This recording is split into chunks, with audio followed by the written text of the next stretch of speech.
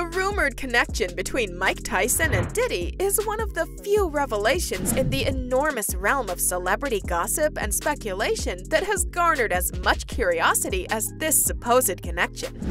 Fans and critics are eager to learn the truth behind their connection that has come to light due to recent occurrences and provocative utterances that have generated a storm of suspicions. But what is it all about?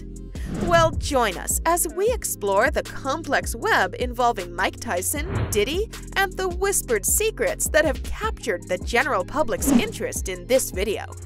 As rumors of their strange relationships spread farther and further, a number of troubling questions began to surface. Were these occurrences the outcome of a close connection that had grown unhealthy?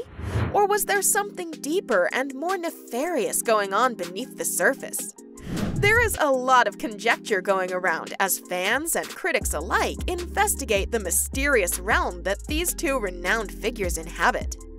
It is also absolutely necessary to investigate Mike Tyson's troubled past in order to have a complete comprehension of the context of this convoluted incident. You see, Tyson has always been a magnet for controversy, whether it be due to his famed boxing career or his well-documented battles with substance addiction and erratic behavior. People are speculating about the motivations behind his new admissions, and the fact that he has a history of misdeeds has added gasoline to the fire. An unexpected turn of events led to Mike Tyson's podcast, Hot Boxing with Mike Tyson, becoming the venue for a heated discussion between Tyson and the rapper Boosie Badazz. So, when Tyson confronted Boosie about his transphobic slurs, the conversation took a turn that was completely unexpected. This confrontation not only shed light on Tyson's attitude toward LGBTQ causes, but also spurred more curiosity regarding his personal sexual inclinations. Tyson's position on LGBTQ issues was revealed due to this encounter. Then again, questions regarding Mike Tyson's sexuality have arisen as a recurrent subject amidst the speculations that continue to swirl around his personal life as the rumor mill continues to turn. Tyson has been the subject of a number of charges and scandals throughout the course of his career, which have fed the rumors. Then again, the mysterious partnership of Mike Tyson and Diddy has held the attention of the general public for a number of years. Their relationship has always been shrouded in secrecy, with many people holding differing opinions regarding the scope of their friendship. But this new piece of information has brought everything to a completely different level. A conversation between the two is shown in the video, and it is the kind of exchange that can only be defined as unorthodox and odd to the extreme. Um, I don't know when I'm coming back. I'm just, I'm into, I have so many different ventures, and I'm, I'm into the music business now. Are you really? Yeah. And hopefully Puffy help me out, you know. you know. There are a lot of different ideas floating around about the real nature of their bond as fans and critics alike examine every frame. Some people even believe that Mike Tyson ever the astute watcher, realized that Diddy was uncomfortable with his contact and then took advantage of the situation by taking advantage of it. Tyson has long been a symbol of uncertainty due to his well-known event involving biting his opponent's ear and his struggles with substance usage.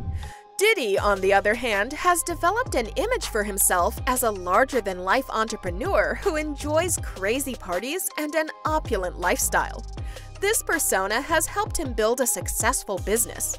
Within the context of this setting, we attempt to make sense of the strange interplay between the two of them. Yet, similar to how one should take rumors and scandals in general, it is vital to approach these theories with a fair dosage of skepticism.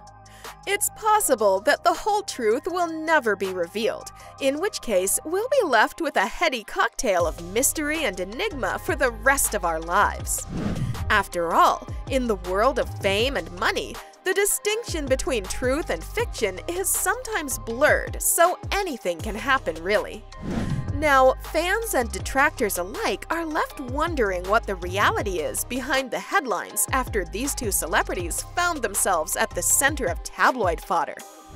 And of course, the notorious rapper 50 Cent, who has never been one to shy away from a quarrel, is also stoking the flames of the conflict.